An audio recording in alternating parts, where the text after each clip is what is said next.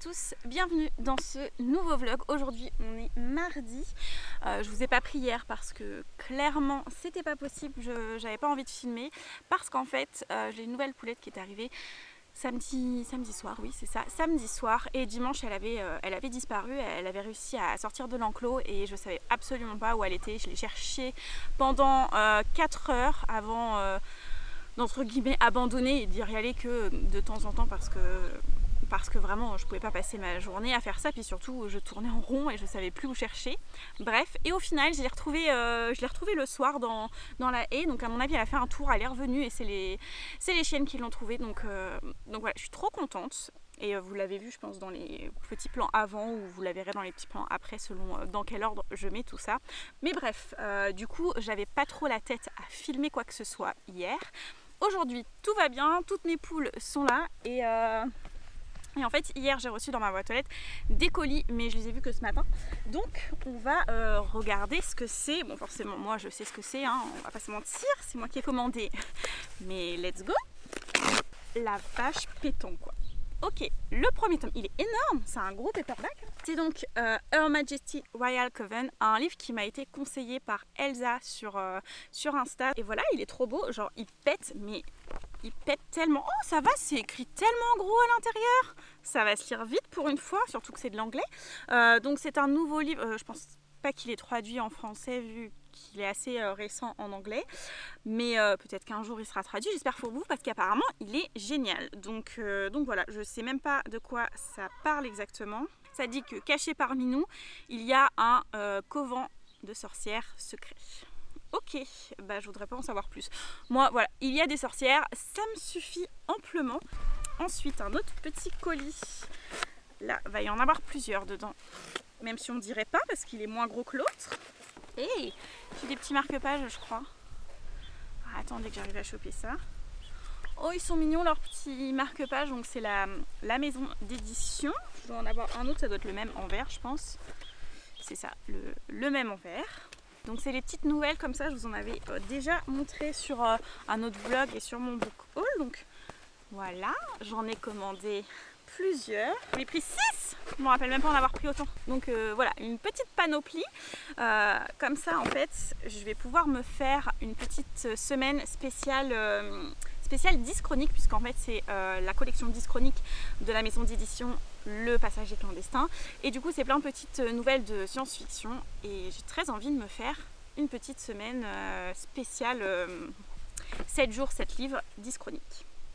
Alors, le premier, c'est Audience captive de Anne Varen Griffiths. Et là, ça dit qu'en 1953, l'autrice imagine le ciblage publicitaire comportemental. Donc euh, voilà, ça m'avait l'air super intéressant. Ensuite, Le Testament d'un enfant mort de Philippe Curval. Alors, il me semble que c'est celui-là, l'auteur français, donc lui, je vais me le garder pour le hum, Cocorico Challenge. La couverture, la couverture est tellement creepy. Dans celui-là, euh, euh, c'est dit qu'en 1978, l'auteur imagine le regard d'un nouveau-né sur le monde sans avenir. Ça promet, euh, comment dire, ça promet de la joyeuseté. Ensuite, Aucune femme au monde de Catherine Lucille Moore. Et là, ça nous dit qu'en 1944, l'autrice imagine une créature hybride dont l'humanité est aux prises avec la machine. De là, je crois que c'est des trucs assez féministes. Ensuite, forcément, un petit Isaac Asimov, parce que j'adore cet auteur. Et euh, dans cette nouvelle, en 1955, Isaac Asimov imagine le nec plus ultra de la démocratie sondagière. Donc ça va se lire assez vite, il est tout petit celui-ci. À l'état de nature de Damon Knight. Et là, en 1954, l'auteur imagine un monde où l'humain s'émancipe de la machine pour vivre en symbiose avec la nature. Celui-là, il m'intéresse euh, vachement. Il est euh, quand même pas mal plus gros. Il fait combien de pages, lui? 154. Bon, ça va. Et le dernier, Le pense-bête de Fritz Leiber. Je sais pas si je le, dis bien, mais c'est pas grave.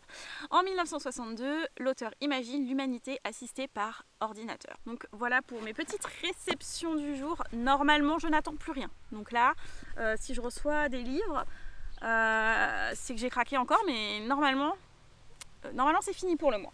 Hein, parce que là, j'ai déjà trop acheté. Bref, je vais aller ranger ça et je vais reprendre ma lecture.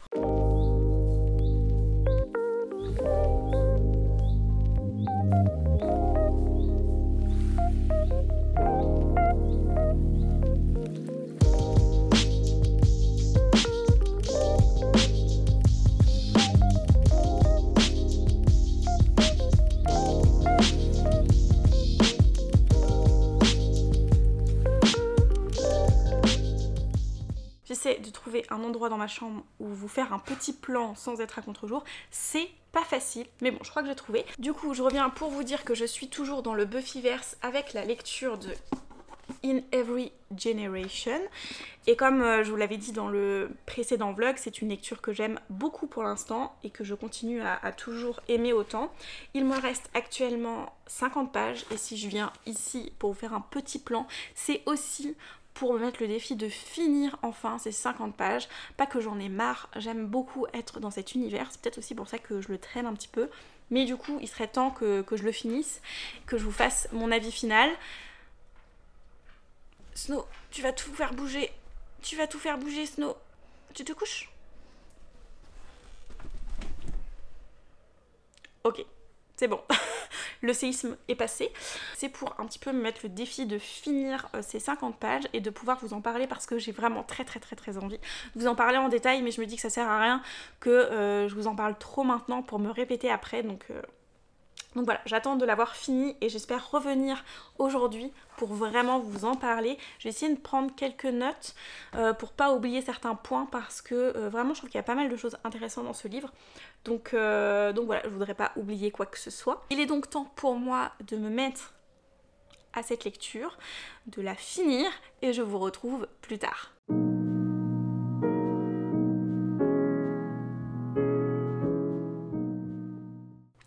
Revoilà, je vais enfin pouvoir vous donner mon avis final sur In Every Generation, donc la suite de Buffy contre les vampires. J'ai énormément aimé cette lecture, comme vous l'avez déjà deviné, pour plein de raisons, et il serait temps que je vous en parle. Il y a aussi quelques petits points négatifs. D'ailleurs, on va peut-être commencer par là. Un des points négatifs, c'est peut-être euh, les personnages qu'on connaît déjà de Buffy. Alors, ça peut paraître un point assez important, mais au final, je suis quand même passée outre. Je vais vous expliquer pourquoi. Alors tout d'abord, le premier personnage où j'ai des choses à redire, c'est euh, le personnage de Spike. C'est un de mes personnages préférés dans Buffy, si ce n'est pas mon personnage préféré. Et du coup, forcément, je suis un peu critique sur, euh, sur ce qui a été fait pour, euh, pour Spike. Au niveau de sa façon de parler, je trouve que ça a été quand même bien retranscrit parce qu'il a quand même une façon de parler assez particulière avec toujours des surnoms, avec une certaine vulgarité, des répétitions et tout ce point-là, je trouve que c'était plutôt bien retranscrit. En vrai, le personnage, je le trouve plutôt bien fait. Ce que j'ai moins apprécié, on va dire, euh, là où je suis un peu plus dubitative, c'est sur le rôle qu'on lui a donné. Je trouve que ça lui ressemble pas trop, c'est pas très réaliste. Voilà, j'ai un petit peu du mal avec, euh, ça, avec euh, ce rôle qu'il a dans, le livre. C'est un rôle quand même assez important, mais, mais je sais pas voilà, je trouve que ça colle pas avec son personnage. Après, je suis quand même euh, passée au-dessus, j'ai quand même réussi à lire le livre sans que ça me gêne plus que ça. Et d'ailleurs, dans le livre, il y a aussi des personnages qui ne trouvent pas hyper crédibles dans, ce rôle-là. Donc voilà, je vous dis pas lequel, mais si vous lisez le livre, vous le saurez très vite. Euh, ça passe quand même. Ça passe quand même, c'est juste que bon, des fois, j'étais là en mode non, ça colle pas quoi. Après, il y a aussi les personnages de Willow et de Oz qu'on rencontre quand même assez régulièrement, mais qu'on rencontre euh, moins que Spike, je trouve. J'ai pas trop de trucs négatifs à dire à leur sujet, mais en même temps, j'ai pas ressenti cette essence au niveau des personnages. Après, euh, bah, c'est vrai qu'ils ont quand même beaucoup grandi, donc forcément ils ont changé. Et moi, j'ai toujours cette vision adolescente de, bah, ces personnages-là, là où on les a quittés en fait euh, lors de la dernière saison de Buffy. Donc euh, c'est peut-être moi aussi qui ai du mal à passer ce cap et à me dire que oui, Willow, dans ce tome, elle a pris plusieurs années et elle est même maman. Euh, donc, voilà, ça je pense que c'est plutôt de mon ressort. On va dire que vraiment euh, l'écriture des personnages. Après ce qui a été fait entre Oz et Willow, je sais pas où veut nous emmener l'autrice, mais euh, j'espère pas qu'elle va nous emmener à certains endroits parce que je vais pas être contente. Je vais pas être contente. On sent qu'il y a un personnage quand même qui reste très attaché à l'autre et un autre peut-être beaucoup moins. Donc euh, voilà, j'espère que ça va rester comme ça, on va dire, tout au long du tome, que ça va rester plutôt platonique, parce que, je sais pas, une romance entre deux euh, qui revient comme ça... Euh, I'm not really sure about that. Mais, mais voilà, c'est pas hyper présent dans, ce tome-là, en vrai, c'est que des, des, petits détails par-ci, par-là, du coup...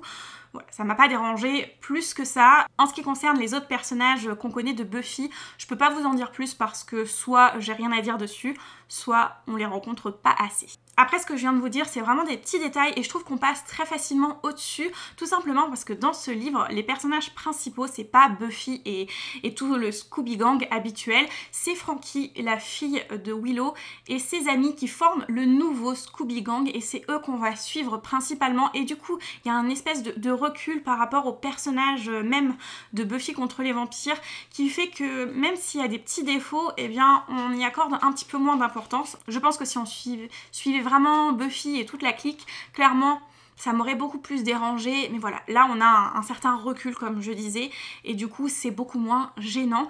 D'ailleurs en ce qui concerne les nouveaux personnages, Frankie, je pense que vous l'avez compris, mais je l'adore énormément. Alors certes, il y a un petit peu de what the fuck autour de ce personnage et notamment le pourquoi du comment elle est là puisque euh, si vous connaissez Buffy quand on euh, finit la toute dernière saison de, cette série, eh bien Willow n'est pas du tout enceinte. Donc forcément c'est un des gros points d'interrogation de ce livre. D'où vient Frankie exactement? Voilà avec qui euh, Willow a été pour que bah, pour qu'il y ait Frankie en fait et on a toutes ces réponses très rapidement dans le livre. Et franchement ma réaction a été juste mais what the fuck? Euh, Clairement c'est euh, c'est assez perché. Et sur le coup j'étais un peu... Euh, hmm, un peu perplexe sur, sur cette explication, ça m'a un peu gênée. Et puis au fur et à mesure, je me suis dit, mais en fait, dans Buffy, il y a quand même pas mal de choses what the fuck, et il y a des personnages quand même qui ont des explications, euh, voilà, assez, euh, assez perchées aussi, euh, pour ne pas citer Dawn, par exemple. Donc, je me suis dit, pourquoi pas, et pour en revenir au personnage même de Frankie, si je l'ai adorée, c'est tout simplement parce qu'elle est végane et qu'elle a une conscience écologique assez importante. C'est des valeurs qui sont pour moi hyper importantes, puisque je suis moi-même végane, et moi-même, j'ai une conscience écologique importante, je dirais, puisque c'est euh, un point qui me touche euh, beaucoup. Donc euh, vraiment retrouver ce genre de choses dans le livre, eh bien je n'ai pu qu'approuver ce choix. D'autant plus que des personnages véganes, c'est assez rare dans les livres, j'en ai rencontré très peu et en général quand j'en ai rencontré, c'était plutôt des personnages où on se moquait des clichés du véganisme avec des phrases du type il ou elle mange que des graines et sa nourriture est hyper fade alors que en vrai c'est pas du tout le cas. Donc c'était vraiment une vision très cliché du véganisme. Ici c'est pas du tout le cas, on reproche rien du tout à, à, Frankie. En fait, c'est un fait, c'est comme ça et tout le monde l'accepte. Et ça, j'ai trouvé ça plutôt bien. D'ailleurs, euh, en parlant d'acceptation et de choses positives, il y a plein de petites phrases assez bienveillantes qui pop de temps en temps dans le livre. C'est pas euh, omniprésent, mais de temps en temps, il y a des petites choses comme ça qui, qui montrent euh, le bout de leur nez. Et franchement, ça fait beaucoup de bien. Pour vous donner un exemple, Frankie, à un moment donné, va réaliser un sort qui va être euh, des plus safe pour elle. Ça va même lui, lui procurer des effets secondaires euh, pas trop sympathiques. Du coup voilà, elle a pris un, certain risque. C'est un choix qu'elle a fait parce qu'elle avait envie euh, de, savoir quelque chose. Mais à côté de ça, il y avait Ellie, donc une de, de ses amies, qui qui avait très très envie que Frankie réalise ce sort. Et en fait euh, Ellie s'en veut un petit peu après et elle va, euh, elle va voir euh, Frankie, elle va lui demander si c'est à cause d'elle qu'elle a réalisé ce sort. Donc Frankie va lui dire que non parce qu'elle aussi avait très très envie de savoir et ça lui tenait à cœur de, de, faire ce sort. Donc euh, c'est pas le cas dans le livre. Et du coup, Ellie va en profiter pour dire à Frankie que si jamais elle lui demande de faire quoi que ce soit avec lequel Frankie ne se sent pas à l'aise, que surtout elle n'hésite pas à refuser et qu'elle ne, voilà, qu'elle ne se sente pas obligée de faire euh, quelque chose pour faire plaisir à Ellie si, euh, si ça la rend mal à l'aise. Donc voilà, c'est un petit peu ce, genre de phrase qui peut popper de temps en temps et je trouve qu'un peu de bienveillance comme ça dans le livre, et eh ben, ça fait beaucoup de bien. Et du coup, j'en profite aussi pour dire que le personnage de Ellie et de Jake qui le nouveau Scooby Gang avec Frankie sont des personnages que j'aime aussi beaucoup. Et du coup, à E3, ils font un super trio. C'est aussi un récit qui est bourré d'humour, que ce soit des jeux de mots ou même des réparties entre les personnages, donc soit entre les personnages principaux ou même avec euh, les démons pour lesquels ils combattent Clairement, il y a une touche d'humour qui est omniprésente, qui est rafraîchissante. J'ai adoré et surtout, c'était hyper important parce que dans Buffy, clairement, euh, les conversations de Buffy avec euh, les vampires pendant les combats, c'est juste mythique. Donc, retrouver un petit peu cette ambiance, cet humour,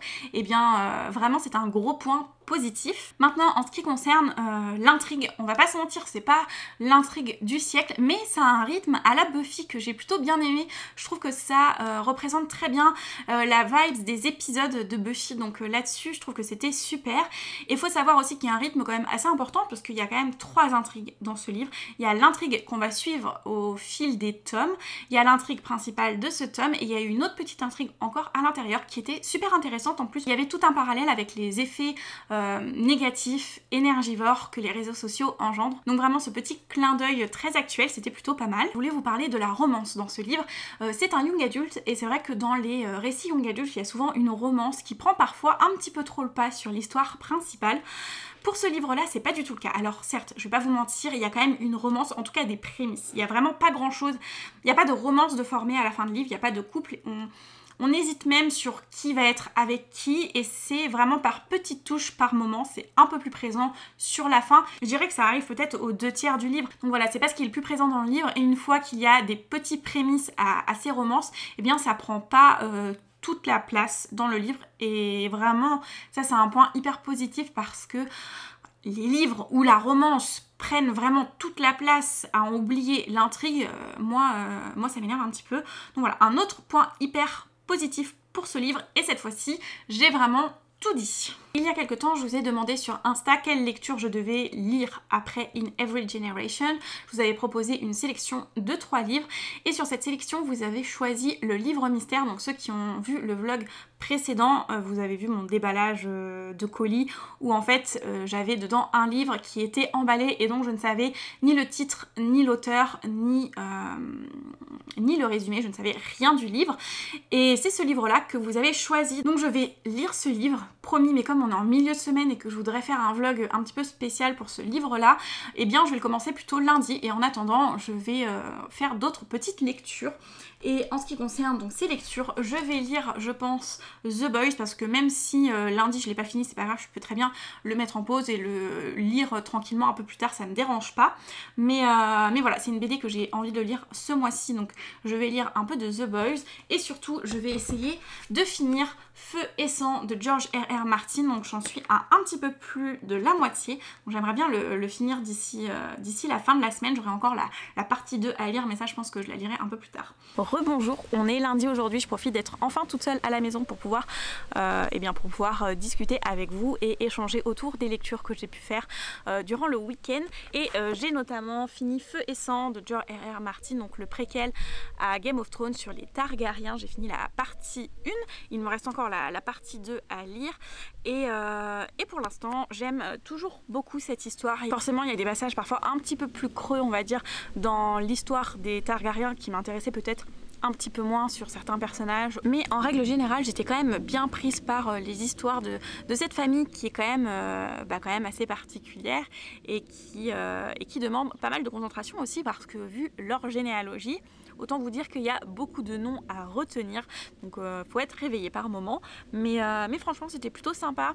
Je trouve que quand on, aime l'univers, on aime Game of Thrones, et euh, eh bien en savoir un petit peu plus sur Westeros et son histoire, c'est vraiment un petit plus. Voilà en gros pour mes lectures de cette fin de semaine. On se retrouve euh, du coup la semaine prochaine pour un nouveau weekly vlog et pour moi bah, ça sera dans, deux secondes parce que je vais enchaîner l'ouverture du prochain vlog juste après. Euh, voilà en gros j'espère que euh, vous, avez de, bonnes lectures aussi en ce moment. N'hésitez pas à me dire ce que, ce que vous lisez. Je suis aussi intéressée par, par vos lectures à vous donc surtout voilà n'hésitez pas à me dire ça en commentaire. Et puis bah, sur ce je vous dis à très vite. Salut